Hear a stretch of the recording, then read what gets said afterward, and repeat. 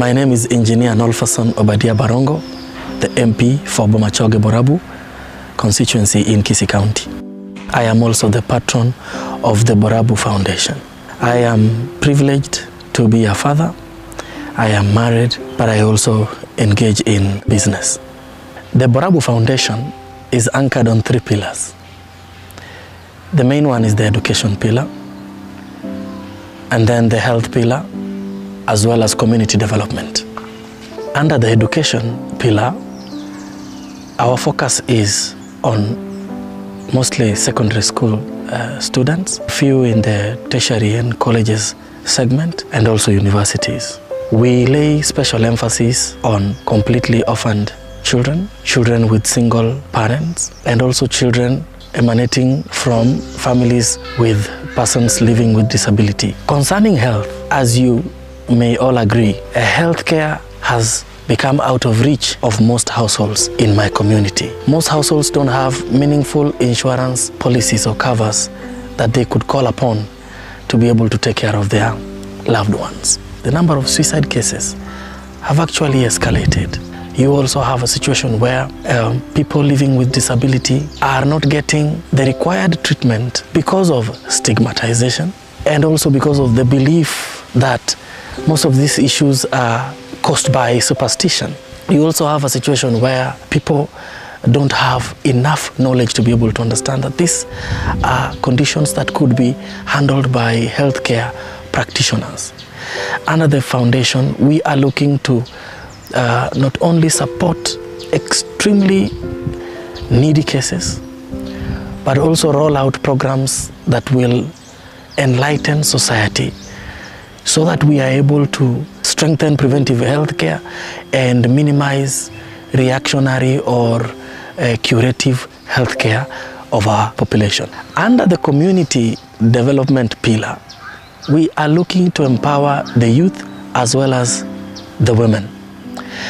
Under the youth, as you may know, most of them are self-employed as boda boda operators. What we are looking to do is to offer them training around safety issues so that we might be able to reduce the number of accidents. We may also need to roll out programs around um, teaching them the effects of drug and substance abuse. We also want um, to be able to professionalize them into circles so that they can be able to um, understand what it means to um, uh, you know group themselves together and keep um, records of uh, their savings so that they can be able to access um, a wider pool of resources from microlenders or from uh, organizations uh, from government that are geared towards social, uh, economic uh, welfare development. The foundation organized a music concert in the constituency. This attracted a large pool of young and upcoming musicians who used that event as a platform to showcase their abilities in music. Under the foundation, we have organized football tournaments, which has actually attracted large viewership of mostly youthful people, which is advantageous because it removes them from self-destructive exposures and also gives them a platform also to showcase their abilities and talent, not only in participating in the sports themselves, but also uh, through offering their resources as organizers of those particular events. And the foundation looks into the future to give the young people these opportunities so that they can continue to test their abilities um, in project management, um, event organization, and other skills that um, these particular events may be able to open them to.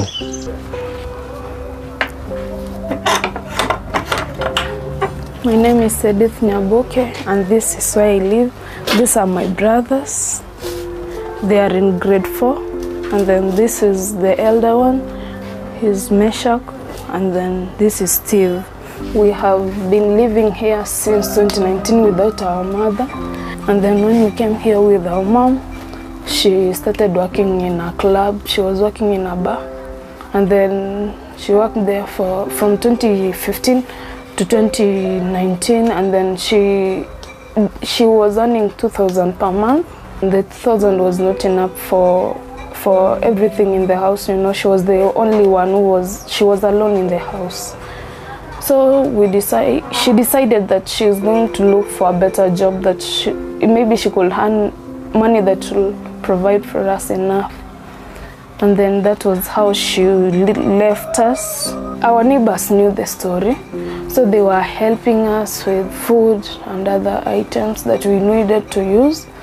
And then that's how we we lived until I did my KCPE in 2022 that was November. And then when the results came out I had 353 marks.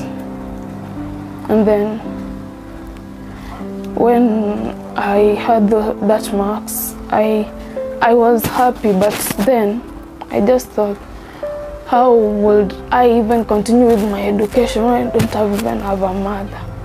And then uh, there was a person who came and then he took me to to a reporter who recorded my story and then it was aired out in a public television.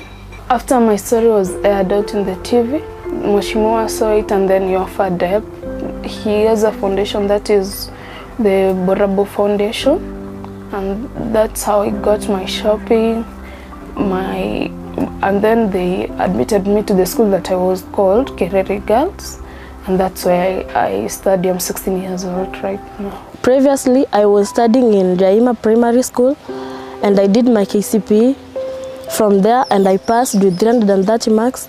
And my mom struggled so much so that she can get school fees to take me to secondary school and she was not able. She struggled up and down but she couldn't get uh, school fees to, to take me to Magenge High School. My mom was being told that our MP Nolfason Obadia Barongo had an, a foundation by the name Bomachoge Borabu Foundation, which was helping the, the children who have passed and they couldn't get enough school fees to go to an, an high school. So my mom, she applied, then I, I was taken to Magenge High School. They paid for me school fees, they did for me shopping, which was required, and I joined my Form 1 there.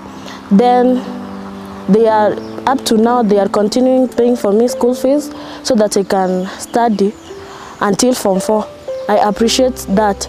So may God bless you our MP Nolfason Obaria Barongo and continue with the same, same, same spirit of helping the needy children so that they can continue with their studies. Na mwivurite no boko ngoba. Bono wekera na manyora. Ngata nganyora abwa to mochando, mochando yo e nare kunyonyara. Urore bwa ebwa renge bwa obwa niuro. Bono mugaka ntu amete no mugaka kera nyora na nyoru mwana obwa to. Agacha agatama akangepa. agaepa noburwaire bono ngachandeka no burwaire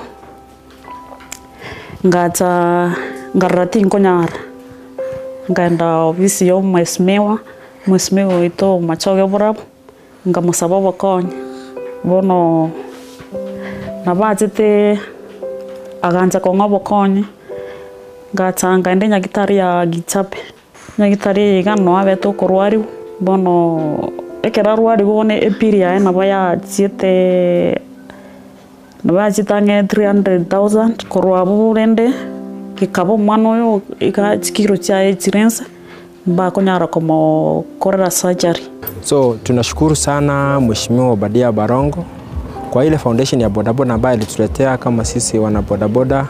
Wakati akianzisha kura, kuna eh, vile vitu alituambia na akatufanyia. Kwa mfano, alituambia kwamba atatupatia viti kumi kumi kwa kila stage, ambapo alitimiza. Pia akatuambia kwamba atatupatia elfu mia moja ambazo alitupatia kwa ward yetu ya Magenche. Sasa kama ward hizo vitu alipatia 10 uh, tulikuwa stages uh, 17 akatupatia 170 chairs na akatupatia 100,000 The values that drive the Borabu Foundation are compassion, equality, inclusivity, transparency, and accountability.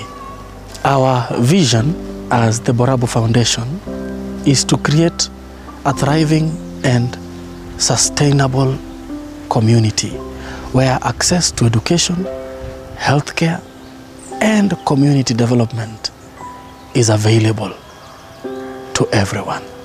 Obviously, the Borabu Foundation is a young foundation. It just started last year, and in the last one year or so, we have been able to take 75 children who are struggling to raise school fees. For this foundation to be able to grow and to be able to have a wider impact, we cannot be able to do it alone. That's why I want to make a passionate appeal to you out of the kindness of your hearts to be able to spare anything that you could be able to afford. I will, for example, mention a pair of shoe for some of us may cost anywhere between 2,000 to 5,000. But we have had situations where a family just requires 200 shillings to be able to um, survive another day of a horrific hunger experience. So I just want to plead with all of us whatever little you may be able to afford, put it aside. Walk with us this journey. Help us be able to transform our community. As they put it, when we all come together, great things happen. This is not only for me, it is also for you, and it is for all of us.